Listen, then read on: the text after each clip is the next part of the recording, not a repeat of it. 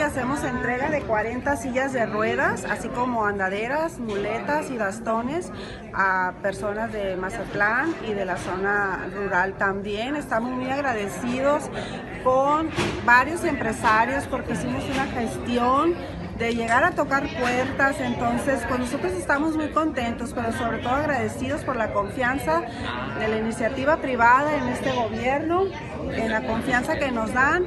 Y pues nada más para decirles gracias, la verdad este, como ustedes lo comparten, no hay nada más bonito que ver estos corazones y estas personas que hoy van a tener una mejor movilidad, ¿verdad? Que no nada más son de la cabecera municipal los beneficiados. Eh, no, no, es zona rural y zona urbana. También muchas personas no pudieron venir por las zonas donde viven, pero hoy mismo se entregan tanto las sillas como todos los otros aparatos. Entonces es un bonito día.